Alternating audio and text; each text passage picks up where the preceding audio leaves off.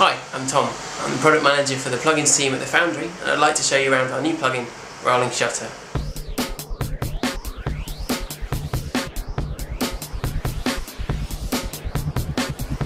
It's designed to help correct the skew and distortion the CMOS chip in some modern digital cameras can create. The problem arises as there's a slight delay between the camera recording the top and the bottom of the picture. This time difference means that movement in the scene can end up distorted. You can see the trouble here in a shot where the camera is panning sideways. Not only can it look odd, but it makes shots difficult or time consuming to track. Our plugin, available for After Effects and Nuke, attempts to correct for this distortion by working out the motion in the scene and sliding objects back into their proper place. Being able to correct for this not only helps the look of the shot, but can also allow you to extract the camera from a previously untrackable shot.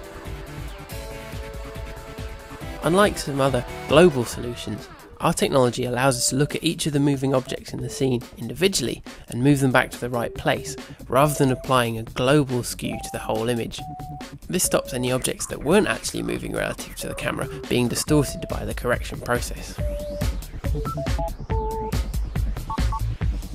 The main piece of information you need in order to use the plugin is how much lag there is in your camera.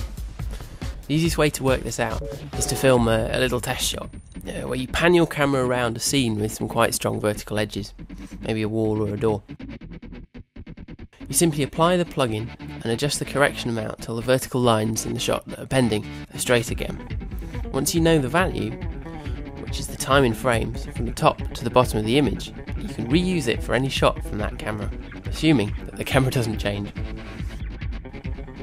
By setting correction to the negative equivalent, you can also use the plugin to add distortion to a clean plate.